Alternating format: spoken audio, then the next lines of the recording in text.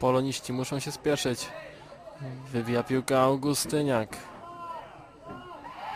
Pazio. Pazio faulowany przez Michalskiego.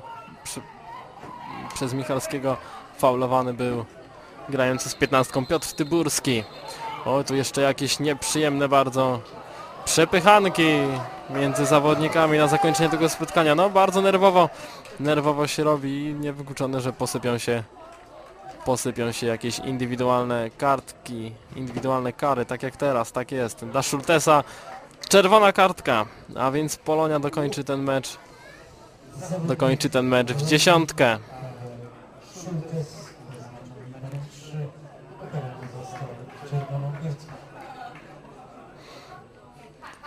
A więc w czasie doliczonym Polonia nie dość, że straciła bramkę. Drugą bramkę w tym spotkaniu to jeszcze straciła jednego, jednego z zawodników.